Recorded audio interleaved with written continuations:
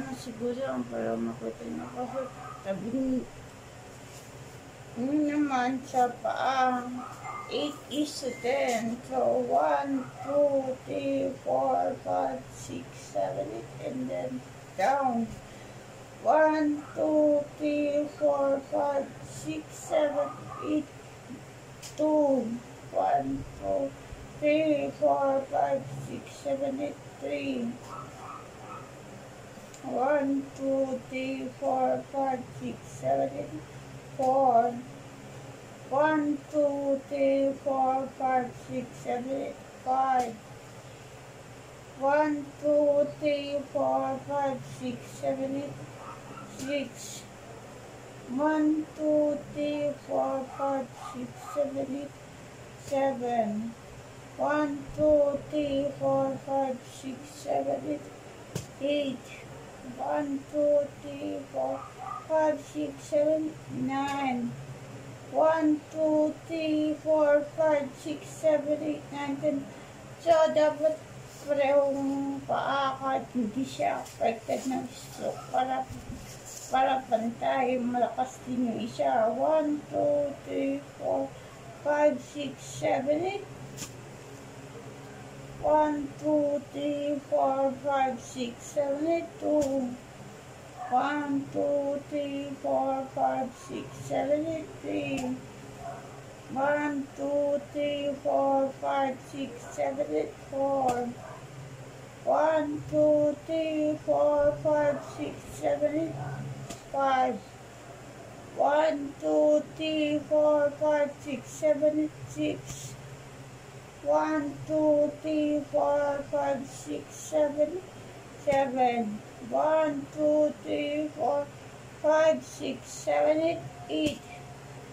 1, 2, 3, 4, 5, 6, 7, 9. 1, 2, 3, 4, 5, 6, 7, 8, 10. 10 na ba? Oras na nga. Hindi ko alam. Nakalimutan ko yung 1, 2, 3, 4, 5, 6, 7, 8. Ito, mabigat masyado. So, lahat ng stroke, mamahina. Medyo malakas lang ako ngayon. Medyo malakas swerte. Best pa rin ako. So, yung problema ko talaga yung face ko. Sabi ng doktor ako. So, ngayon, yung next naman, sa mga pala, bili kayo ng mga tools para sa mani sa buhay kasi masyado itong mabigat.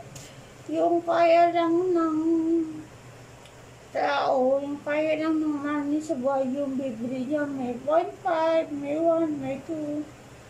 So, yun yun, hanggang sa ano, mga siya, bumalik yung lakas niya. Ngayon, ma'am, two, three, four, five, six, seven, eight, nine, ten. Next.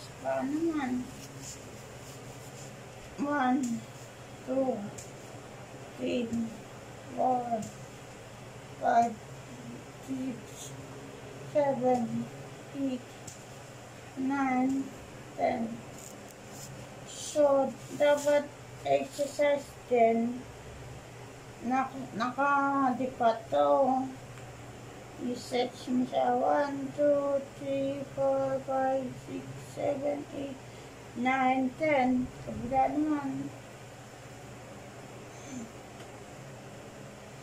1, 2, 3, 4, 5, 7, 8, 9, 10. Ikot din yung ulo. Lalo na ako kasi mabigat. Tapos yung mata ko affected. Yan. Para yung dali ng dugo sa ugat ay gumaling. Tapos search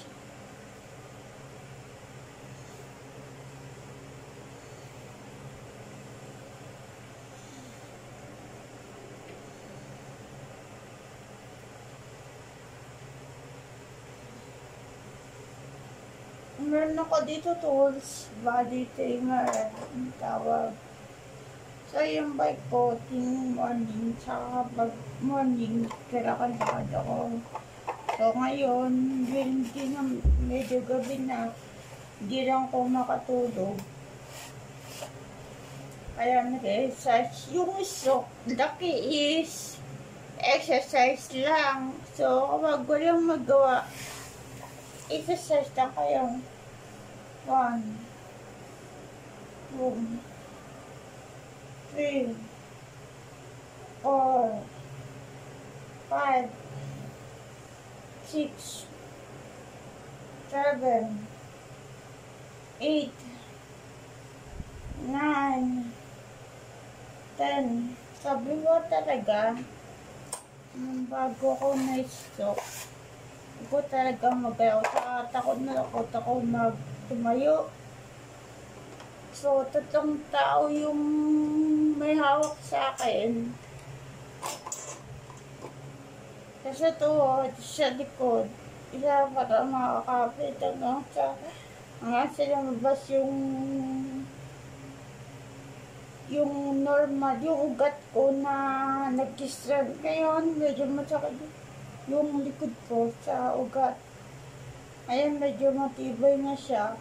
Dati natatakot din akong buwan na walang walang sandalan kasi baka mahulog ako. So, ayun.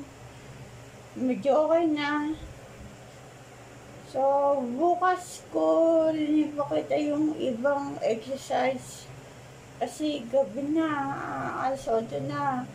Basta ang key sa sakit ng stroke, dapat ng palakas saka exercise ng exercise para para mabilis ang recovery.